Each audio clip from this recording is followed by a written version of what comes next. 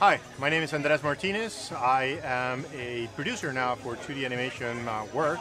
Used to be a CG supervisor in a lot of the uh, feature films for from Matrix uh, trilogy to Superman, Spider-Man. One of the, I've been a, a VES member since 2001, I believe, um, and I've I have to admit that at the beginning I was not very participative of being of being a member, but I love being a member because I get the chance to meet a lot of professionals, do a lot of things with professionals that otherwise I would not have the opportunity to, to work with, hear with their opinions.